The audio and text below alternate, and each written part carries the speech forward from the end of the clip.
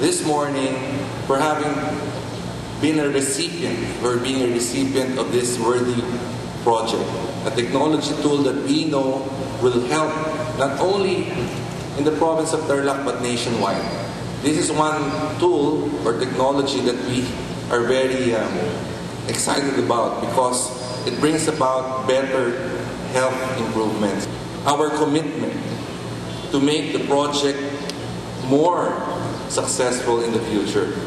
It has been 12 months since this has been planned, strategized, and now under implementation. I know that there are going to be problems along the way, but we in the province will make sure, together with State University and other technology partners, to make sure that the manpower, the budgetary resources needed, for example, in, in spending of technology for sustaining it at about $3,000 a year per RHU, the provinces, through the local government units, the mayors, are serious in putting up the money to sustain the efforts to be generated from this project. When we were creating this, uh, we didn't have any pattern. Uh, we, we designed the system from scratch, essentially. And um, we lost a lot of hair developing uh, system. because, you know, there's no guide. There, there, there was no guide, and we could, you know, we, we were working on a trial and error basis.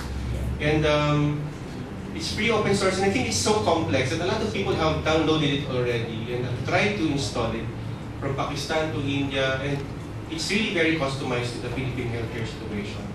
Um, when you look at the interface and you send it to another health center around the country, thanks to the DOH standard uh, programs, they're able to recognize the system. And I think uh, Herman made the right decision when he said, let's not focus first on the hospitals because the, the, the processes are so different between two hospitals. Let's not focus on the private clinics because one clinic will have a different set of rules than the next clinic. Let's focus on the RHU because the processes in one RHU is the same set of processes in another RHU. And he's right because every RHU sees CHITS. There will be some hesitance, but you know, at some at, at, at some point they will see, yes, this is what we were running in our system, but it, previously it would be manual, but now it's they computerized the, the workflow. Name and your statistic, but in the end, when you transmit the data, the name, your name, your personal identifiers don't go with, with the transmission. Everything stays in the local machine. So essentially, we would probably know what the votes are at the precinct level, but we won't know who, how the people in, the, in, in those precincts voted. The same way that we would know where the measles outbreak will be, but we won't know how, where uh, or who these people with measles are because we need to work through the local officials and let them help us look for the people who are affected. So it's basically a very secure system for as long as uh, we keep it open source so that we see that for a fact that the personal identifiers actually are not transmitted uh, when the transmissions are made.